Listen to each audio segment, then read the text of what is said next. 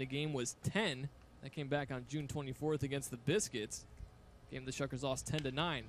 As 1-0 is pulled down the third base line past the diving Noriega, going all the way to the corner, scoring easily as Brian Anderson. As Perez takes a hard turn around second base when Cooper gets to the ball, but he'll sit there.